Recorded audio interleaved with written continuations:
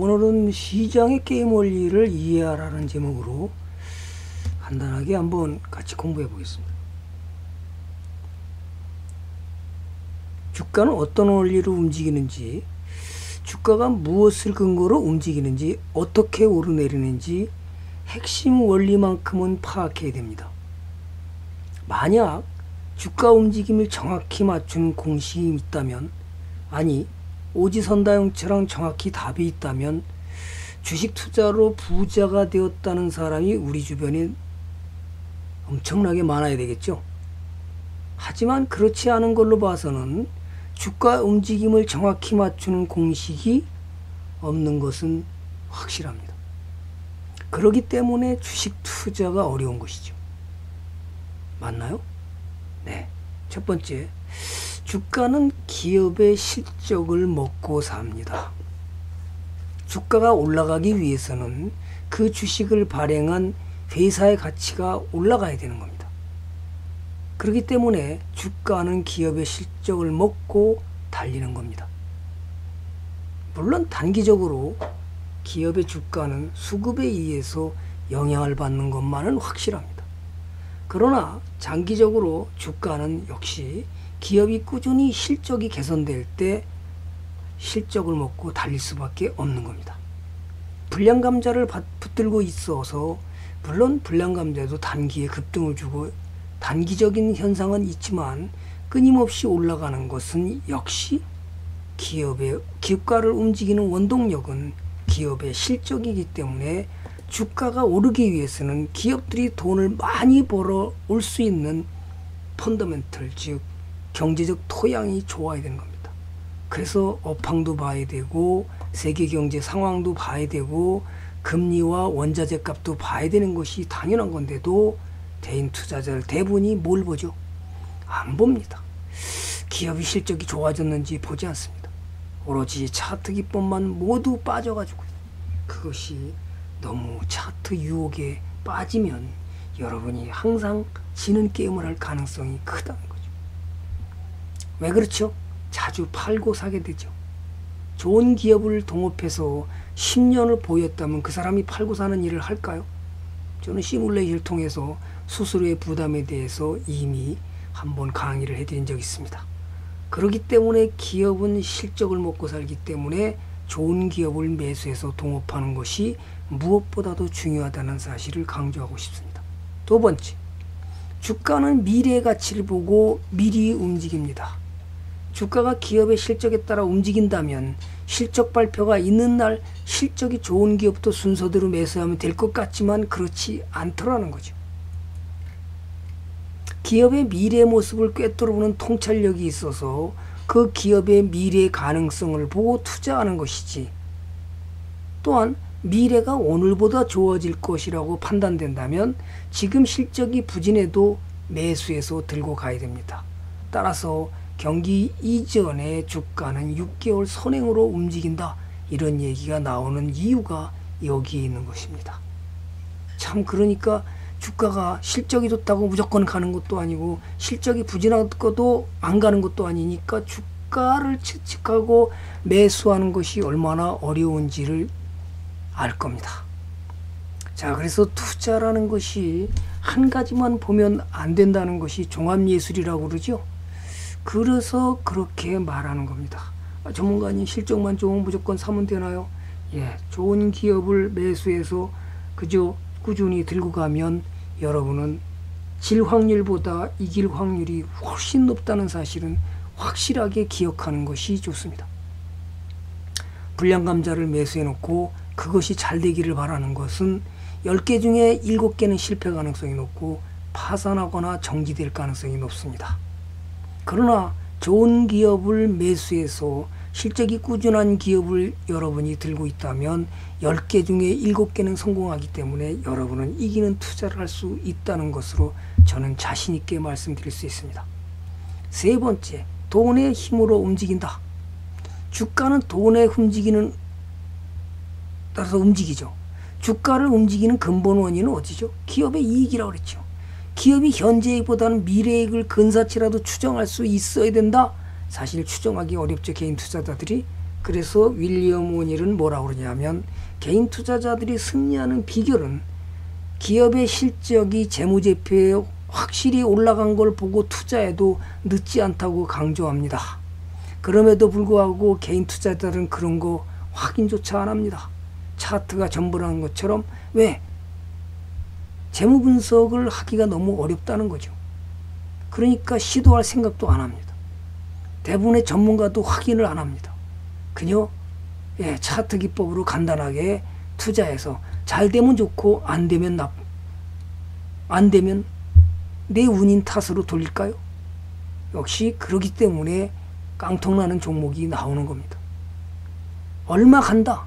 이 종목은 앞으로 어떻게 돼서 얼마 간다. 이런 걸 너무 좋아합니다. 개인 투자자들은. 얼마 갈지 안다면 그 사람들은 신발에 흙을 묻힐 일이 없을 겁니다.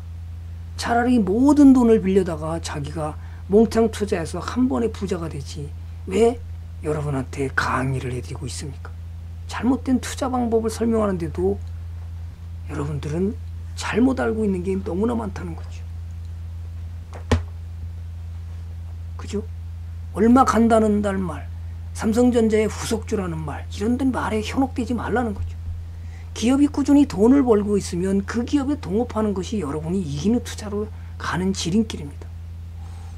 주식 투자라는 사람이라면 기업의 실적에 영향을 주는 경제 펀더멘털에 관심을 가져야 되고 펀더멘털에 반응해서 돈이 어떻게 움직여 줄 것인가를 생각할 수 있어야 되는 겁니다.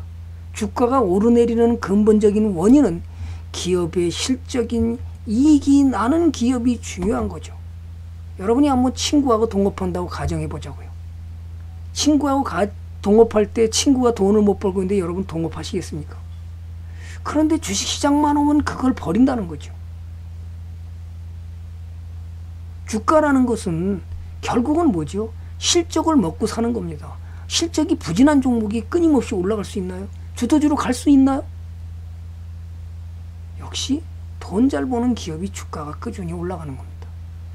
그래서 최종적인 것은 수급에 의해서 돈의 힘에 영향을 주고 그죠? 수급으로 인해서 주가의 방향을 저는 정하는 것 역시 돈에 흘러가는 방향입니다. 그러면 그것이 뭐죠? 실적이 좋기 때문에 그쪽으로 돈이 흘러가는 것이지 실적이 부진한 기업이 끊임없이 기관이나 외인들이 거기다 돈을 투자할까요? 그죠? 비근한 예로 최근에 뭐죠? 어, 한국전력 같은 경우 어떻게 됐죠? 실적이 어닝 쇼크가 나니까 누가 쏟아부었어요? 기관과 외국인 쏟아붓고 개인들만 매수가 담했습니다.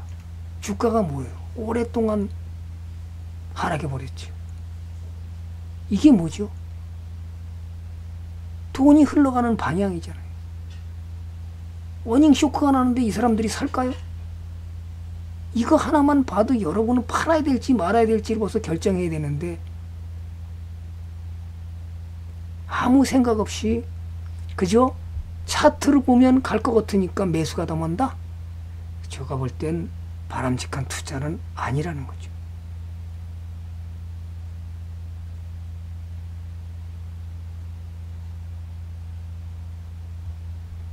따라서 좋은 기업을 매수하는 것은 상당히 중요하다는 것이고요. 자, 어제는 거의 그 은행주하고 그 다음에 보험주들이 반등을 했죠. 네, 그 와중에도 제가 무료 방송에 추천했던 예, 옷장사들이 좀 움직였습니다. 그죠? 예, 그동안에 급하게 올라왔다가 다시 눌림목 주고 반등하는 모습입니다. 자, 이럴 때 눌림목을 줄 때 매수해야 되는데 또 좋은 종목을 갖다가 고점이라고 댕강 잘라버려 가지고요. 예, 더 갈 수 있는 길을 스스로 막아버리는 어리석은 투자하지 말라는 거죠. 그죠? 좋은 주식을 꾸준히 매수해서 간다면 이런 일이 벌어지는 거고요. 볼까요? 몇 가지 종목. 예, 풍산도 역시 정고점을 돌파하려고 자, 이런 걸 하나 보면 뭐죠? 수급이 어디로 가죠? 돈의 힘이 방향이 어디로 가요? 역시 기관들이 끊임없이 사주고 있잖아요. 개인들이 사주나요? 예, 그렇다면 어떻게 해요? 돈의 힘에 의해서 또 기업이 실적이 좋아지니까 주가는 가는 겁니다. 그 다음에 또 볼까요? 예. 우리은행 어때요? 이렇게 강력하게 꾸준히 상승한다는 거, 100%가 수익이 넘게 저희들은 끌고 왔습니다.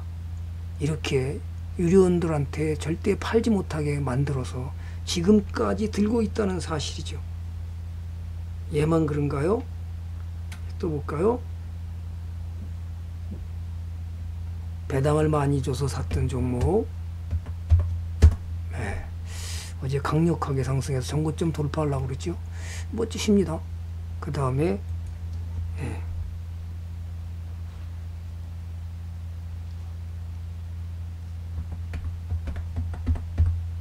자, 이런 종목들이 다 부실해서 갈까요? 실적이 부진한데 갈까요? 아니면 자, 기업의 재무 분석 한 번만 봐도요. 어떤 일이 벌어지죠? 꾸준히 벌써 영업이익이 나오고, 그죠? 작년보다도 오히려 영업이익이 두 배로 나니까 기업의 주가가 이렇게 실적이 좋아지니까 이렇게 주가가 폭등을 하는 겁니다. 단기 급등하는 짜릿한 상한가가 쫓아다니면서 매수하면 돈을 벌까? 역시 수급이 누구죠? 역시 기관하고 외국인이 수급이 떠가지고 돈의 힘의 방향이 이렇게 가는 겁니다. 개인 투자도 어떻게 해요? 올라가면 무서워서 도망가죠. 빨리 잘라먹고 도망가야 되죠. 이런 투자는 여러분 하시면 안 됩니다. 꾸준히 돈 버는 기업에 동업하고 가만히 있으면요. 지가 알아서 키워줍니다. 돈이 일하게 하면 됩니다. 오늘은 여기까지 강의해 드렸습니다. 감사합니다.